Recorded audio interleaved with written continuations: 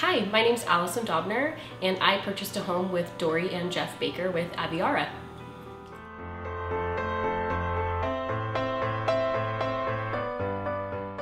The one word that would describe working with Dore and Geoff is ease.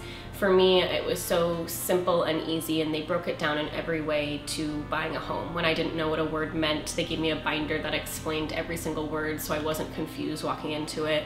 Um, I'm a big reader, so I would read everything they gave me and I really understood everything. So when we had conversations, um, if I didn't know anything, I would stop and be like, Geoff, slow it down. I don't know what that means. And he'd be like, you know, let me break it down in the easiest way for you to, you know, understand it and make sure that you're not missing any steps throughout the process.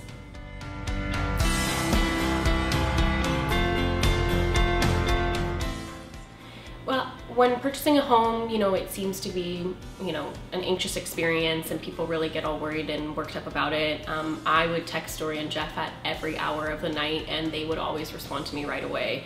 Um, it was always a text message that said, no, you got this, we'll make it happen, don't worry, um, we'll find the right home. They were just so great about it and so responsive and made me feel so comfortable with the whole process.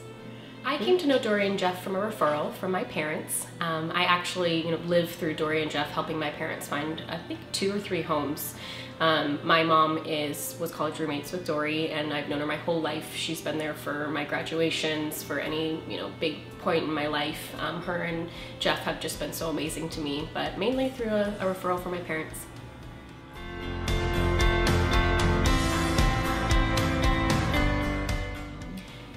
If I have any friends that are looking to buy or sell a home, I always recommend Dore and Geoff. They are so great and so helpful and they just really had made my experience buying a home so amazing. It makes me want all of my friends to go through the same experience and, and build a wonderful home and have Dore and Geoff help you throughout the process.